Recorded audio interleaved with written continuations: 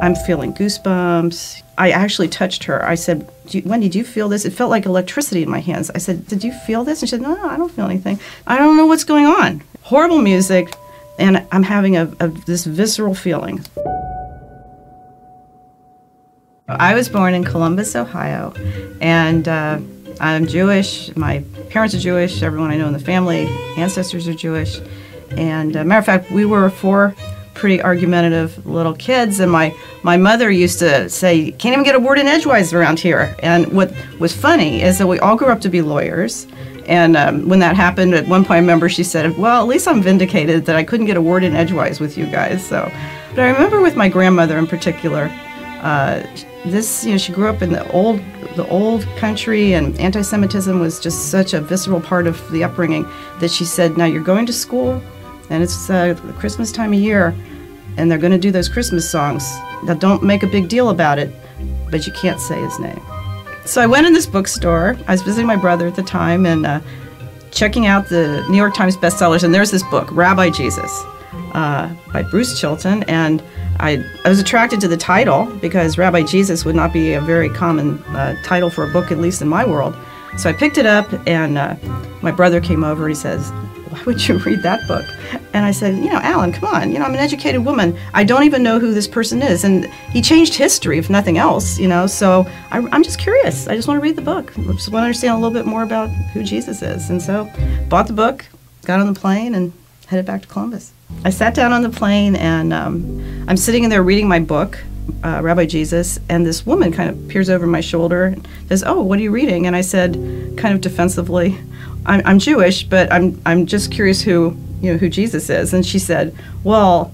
Uh, what do you want to know? You know, I've written books about him, and I was pretty shocked she started talking to me about some of the books and some of the information about him. And at the end of all this, I said, you know, I'm not going to change my religion, but you know, if I were to read the New Testament, you know, do you have one that you'd recommend? And so she recommended one to me, and then she said, and you know what, I'm going to send you my books. Uh, give me your address. Let me send you my books. During this time, uh, shockingly, my marriage of 28 years um, came to an end, uh, and it had happened, it had been building over a long time. Uh, to me, raising my children is like the most important thing that you can do in life. I had this dream about, I think it was a, a Zephaniah passage. He will delight with you in song. Like it was, um, I just woke up one morning going, Where, what is that? Where did that come from? I was by myself. This was in the spring of that year, and um, came home from work one day and took the mail in, and there was this yellow package. So I opened it up, and um, there was a book in it. And the book had a card, and I, I actually have the card that came with the book, and it said, Dear Diane, I haven't forgotten my promise to send you this book. It just has been slow in getting to you. This book is part of my life story. In the midst of great pain, Jesus walked alongside me. I have been praying that whatever you go through in your life, that He will find you and comfort you as He blessed me. Blessings and shalom, Lori Hall. Then she would Zephaniah 3:17, He will delight in you with song, and I'm just like, I'm just in shock. I'm in shock at so many levels that this card and this book arrived at this time. So I called my sister, who is living out in uh, Massachusetts at the time. I said, Wendy, you are not going to believe this, and I and I told her how this person that I didn't know sat down next to me like six months ago on the on the plane. We're driving back and forth from Boston to Columbus, and and uh, and I never had spoken to her about my personal life. Never said a word. I had only asked her about Jesus, and um, so I'm telling Wendy who this woman is, and I and this card in the book, and there's like dead silence on the phone, just nothing. And Wendy, and she goes, "Did you say Lori Hall?" And I said, "Yes," and she said I'm holding a magazine in my hand, and it's Christian led woman, and they're doing a review of Lori Hall's book. And it's this very book that she sent to me. At this moment, it, to me, it was so uh, profound.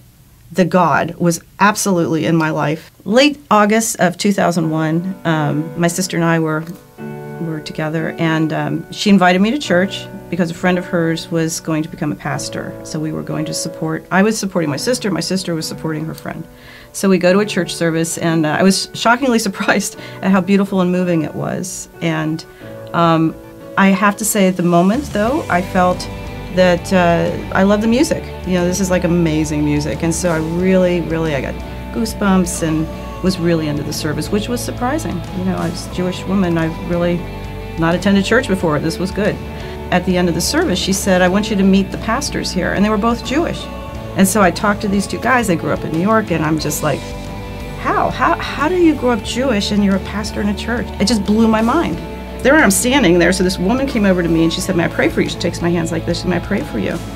And um, I said, I just want to understand more about Jesus, which I that's all I wanted.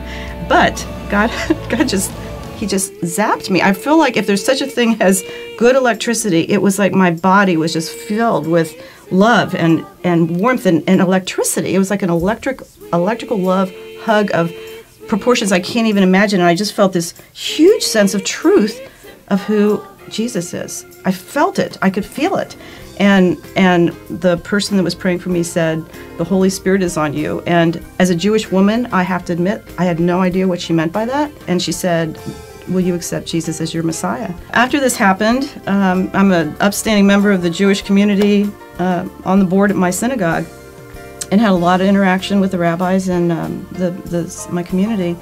And uh, the subject came up, you know, I believe in Yeshua now. And the reaction was, What happened to you? How could you do this? I was like a traitor, you know, like, what? what? How, how could you possibly? all these years believe that, you know, after being a Jewish woman and a leader in our community, how could you believe it? Jesus is the Messiah.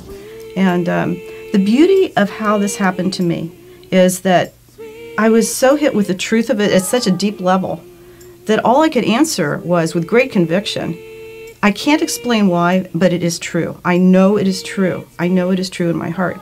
And I have the rest of my life to read scripture and understand the why but I know it is. It is the truth.